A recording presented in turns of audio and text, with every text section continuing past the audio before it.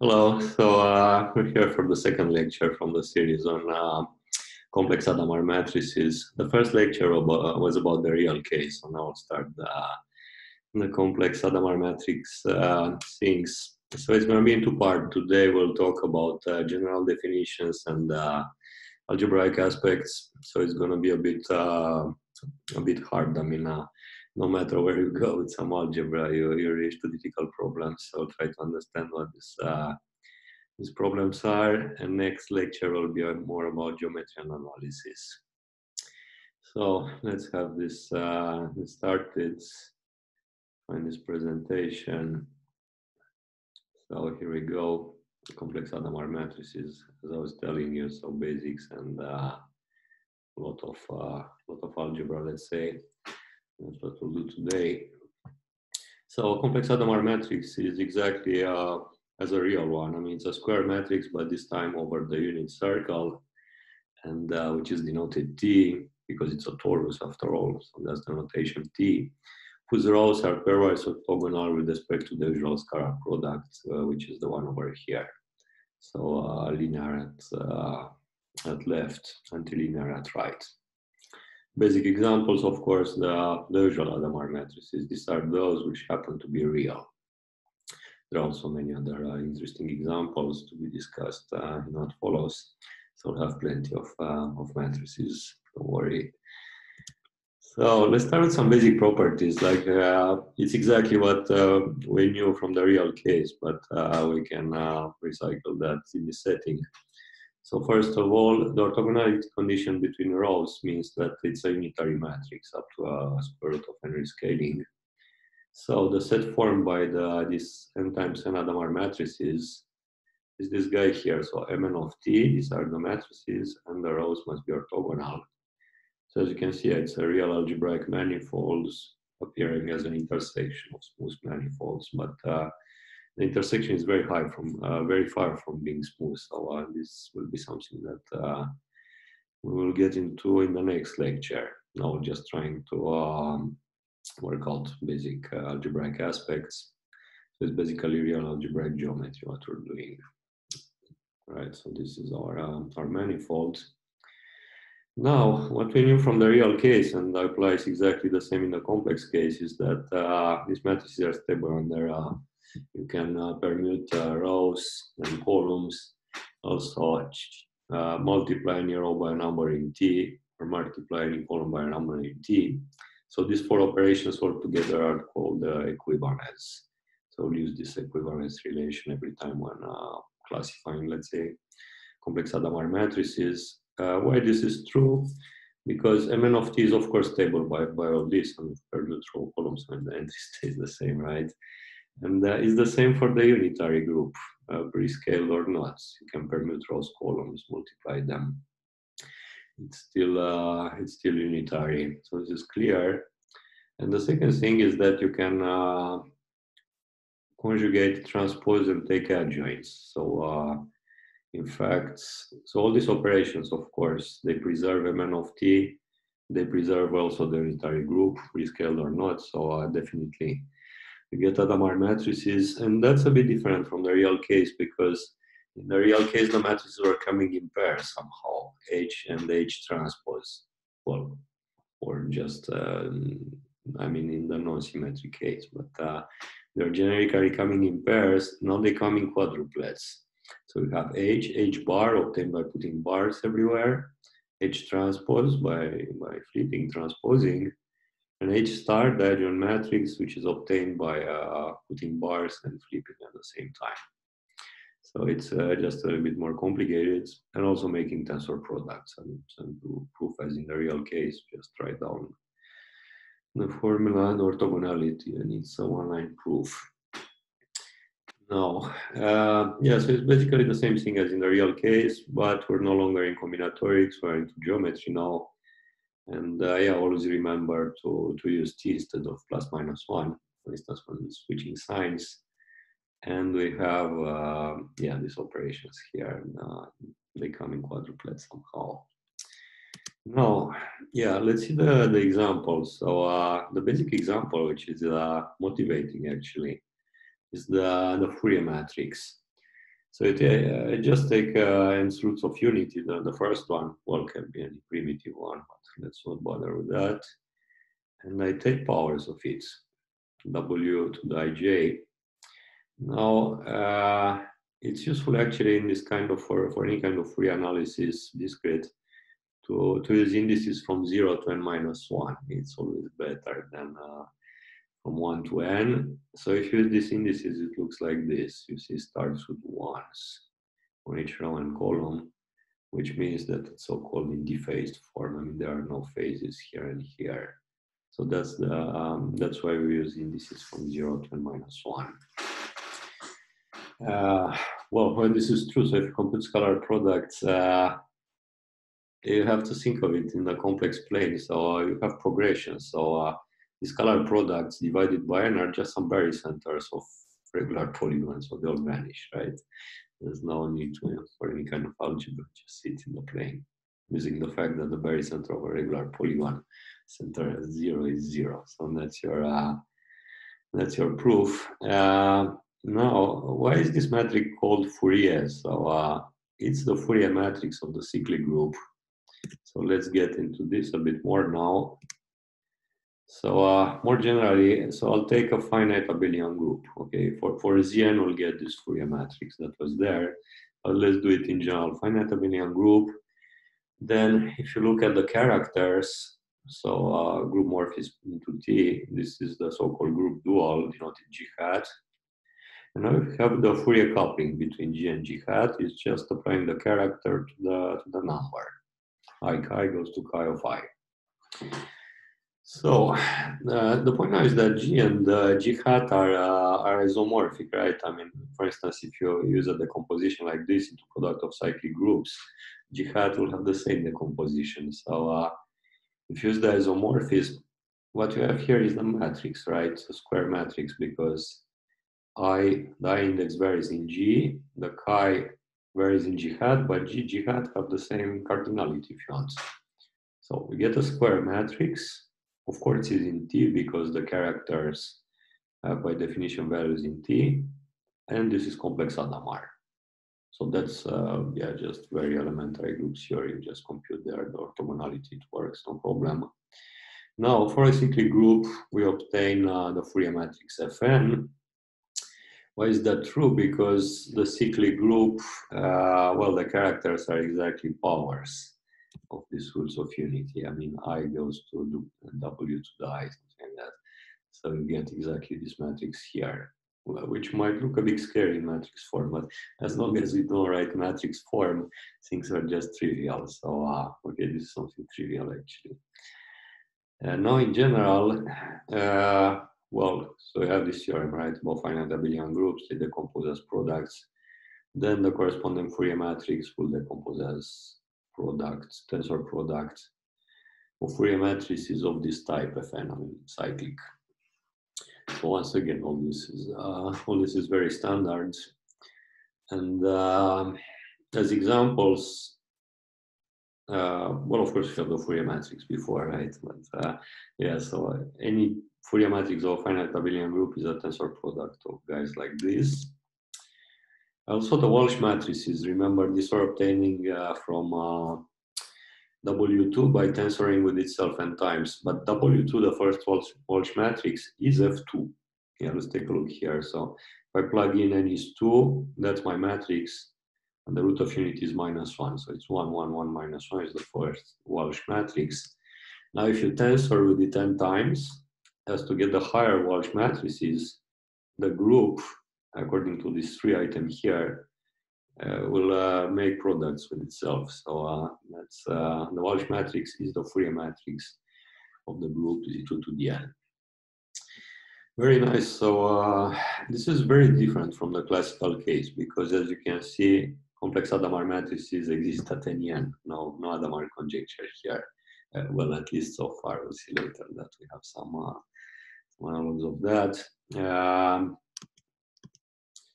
now, what else? Uh, we have tensor products, of course, that you can deform. You can plug in a parameter Q. You see, so these are the formulas exactly of the tensor product. And I can plug in a, a rectangular matrix either this way, QIB, or like this with QGA. So just verify it's very simple computation. And you get um, some deformations of the tensor products, parameter Q. So uh, this is the rectangular matrix formed by numbers on any circle. So you get two of them, left deformation, right deformation, left deformation. Uh, due to this, uh, this construction. Now this we can we have enough things for classifying up to n is 4. So uh, at n is 2, 3, you only have f2, f3 up to equivalence. This follows, uh, well, from basic geometry in the complex plane, you have to play there when the, when the sum of three numbers is zero, things like that on a circle. It's really fun. I recommend it as an exercise. And the case n is 4 is fun too. I mean, once again, you have, uh, it's basically numbers on the circle, right? When you compute the scalar products, I want to see when uh, sums of things on the circle vanish and have like triangles, parallelograms. It's very fun. And at n is 4, uh, you get not only Fourier, but also its Dita deformations because F4, you have Dita deformations of F2 tensor F2, right? And actually this uh, kind of collapse, they're equivalent. And uh, in the end, up to equivalence, you just just get a one parameter family, the parameter being uh, on the circle and uh, that's yeah you can write it in many forms that's one of the, the standard forms so it's it's here in the parameter s. So once again very nice geometry in the plane i uh, recommend. Now let's get to 5 so this is terribly difficult n is 5 so uh, the idea is that uh, f5 the Fourier matrix is the only one. And this was open for a long time and solved by by Uffe Haagerup for the very tough computation. So here is his main lemma somehow, which is extremely surprising. So you take another matrix uh, arbitrary h, and you see by using the equivalence relation, I can always dephase. I mean, assume that it's one, one, the first row and column. Just multiply here and here, but what you need for getting ones. So I can only assume that matrix is like this. And let's just look at this little guy here, this two by two matrix, Ax, Y, B. Well, Haagerup discovered that this uh, must satisfy this extremely strong equation. So you see either x is y, or x is ab, or y is ab. Very strange. So how is the proof? Well, very tricky. So uh, nobody knows how Haagerup found that, but uh, the idea is that if you write the orthogonality condition between the first three rows, have three equations, and you play with them, and uh, when we get to something like this, I mean, you see the stars here, the four stars here, you manage to, to get rid of them somehow in the computations. So we end up something uh, with something evolving only A, B, X, Y, like this, which is already very strong. And now with playing a bit more uh, with this, you get to this. Now, once you have this, uh, well, you're almost done because it's clear this thing will happen all across the matrix, right? I can move my, my two by two matrix by permuting rows and columns everywhere. So I'll have very, very strong conditions everywhere across the matrix and uh, well, with a bit more effort, you, uh, which actually takes a few pages, you're eventually led to fifth roots of unity as solutions to your equations, and that's your matrix that you get, the Fourier 5. So very nice, uh, very tough result by Haagerup. When, when was that? Mid 90s, I think which closes the, the discussion. Now, NE6, it's even more terrible and it's uh, completely open as of now, 2020. So, not much hope of, uh, of solving it. So, uh, as just a sample of what can be done here, this is a result of Beauchamp Nicoara dealing with a self-adjoint case. Okay, so self-adjoint. And here's the thing. So by doing some kind of Haagerup report, which is totally terrible, paper too, he reached to the conclusion that uh, these alpha joints are up to equivalence one parameter family, which are like this. And uh, the parameter is actually one of the variables there. We have four variables and their adjoints and with signs.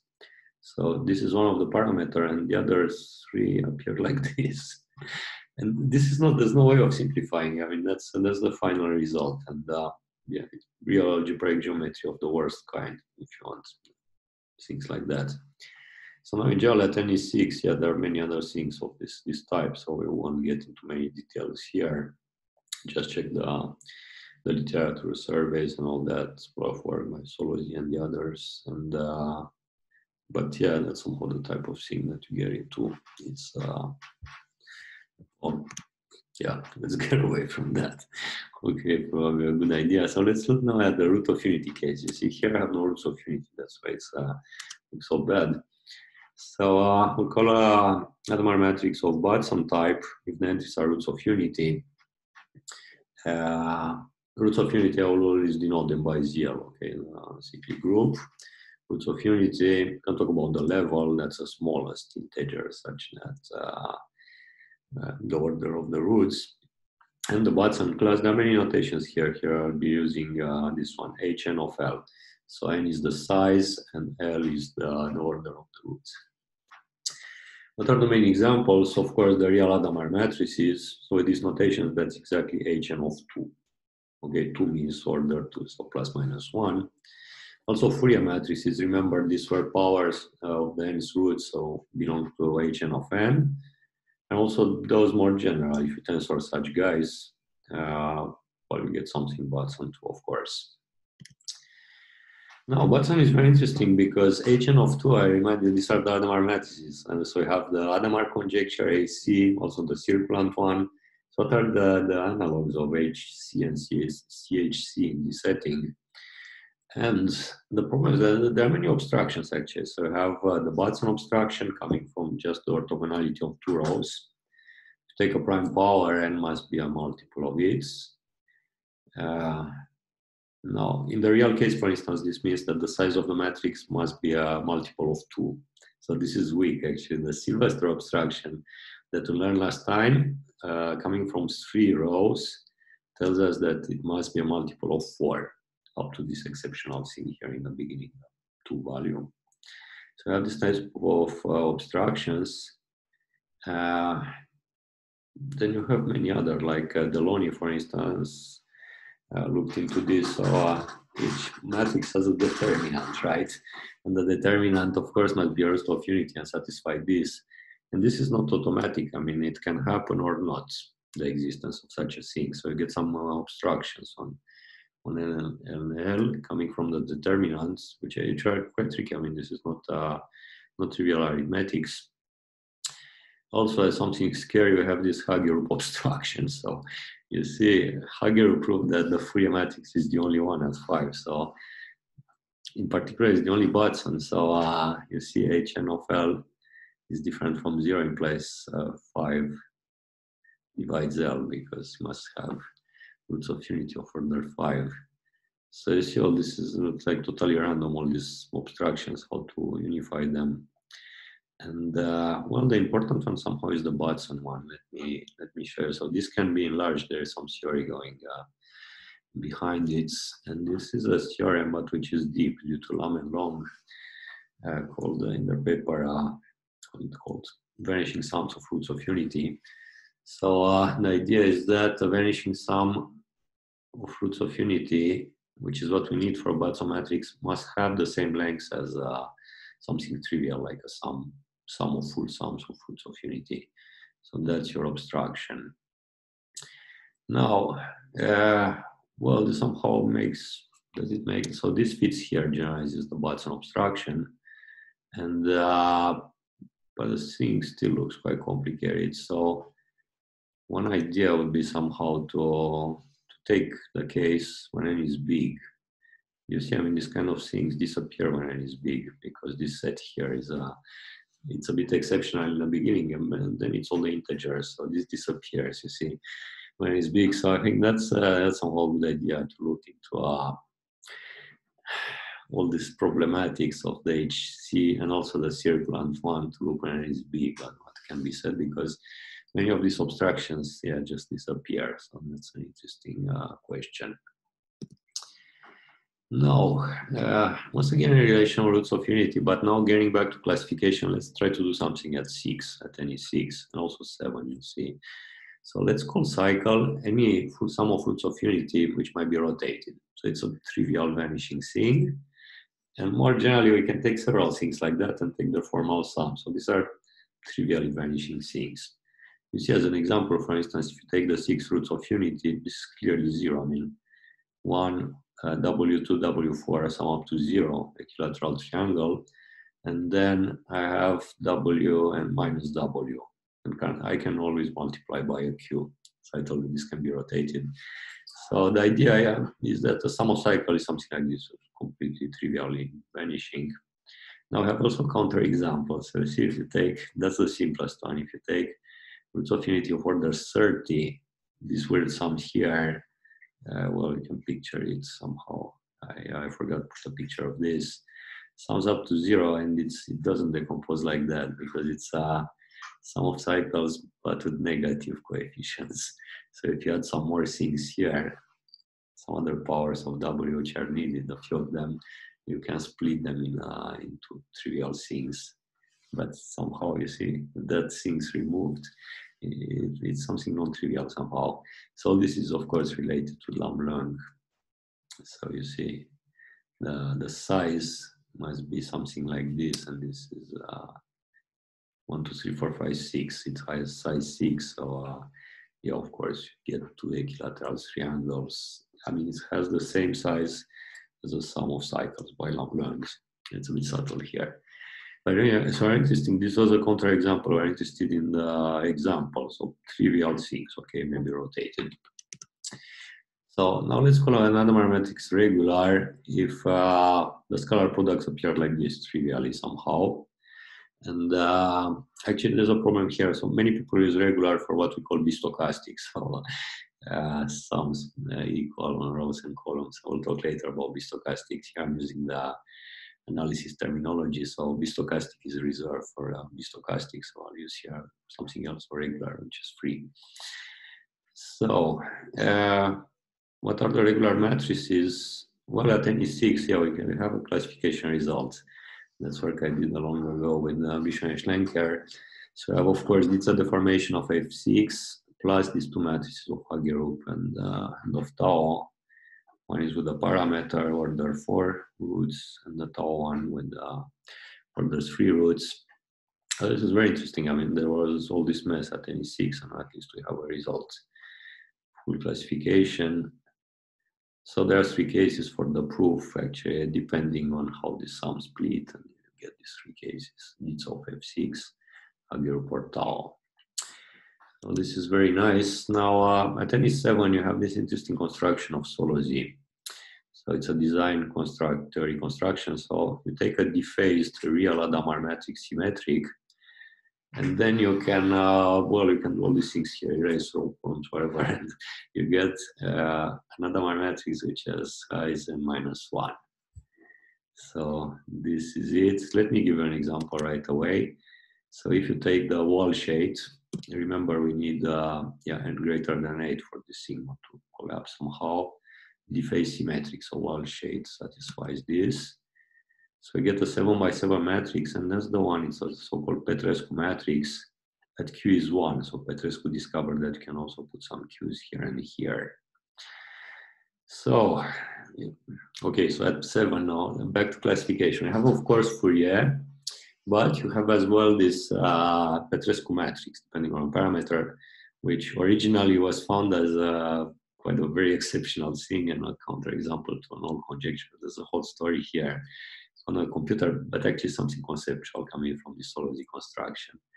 And the conjecture is that the only regular matrices are F7, P7Q. So uh, that's, uh, yeah, a lot of work here and uh, tried a bit with uh, the student of mine, Pittau, but we weren't able to do it finally. Also Schlenker with Hiran Dani, uh, some work on F7. So uh, yeah, very interesting thing, which is not, uh, not done yet. So, uh, yeah, let's end now with circular matrices. So we haven't talked about them yet. So as I told you, there's no analog of the CHC, circular Hadamard conjecture in this setting, because the Fourier matrix can be put in circular form. Uh, well, of course, you get to the bottom class, there are a lot of things there, like work by Thury, many others. But uh, let's uh, just explain here the basic things. So uh, What's the idea? Uh, well, it's quite tricky. You have to use this uh, for every every time that you do something with circulants. You have to use this this trick of Björck. So I think that H is circle and gamma is the first row vector, And then you just divide gamma i by gamma i minus 1. We call this zi. And this zi satisfies relations which are simpler than those giving Hadamard. So these are the relations. Very good. It's a so-called cyclic root. Okay, so it's the same thing. Hadamard matrix, circular and cyclic roots. And with this, you can prove, for instance, very easily that uh, the Fourier matrix Fn can be put in circular form. So as an example, here is a 5 put in circular form. And uh, what I found here, the proof is very simple because this is obviously Hadamard, which is compute by Hugger, it can only be Fourier, right? But uh, well, that's more as a joke. Now, uh, in general, yeah, you can spend some time doing this. I mean, it's not easy, so you really have to use these Björck roots. And uh, here's your uh, cyclic root. So you do some uh, notations here, and that's your root, and it works. But, uh, but it's tricky. I mean, it takes half a page, and without Björck, you cannot get it.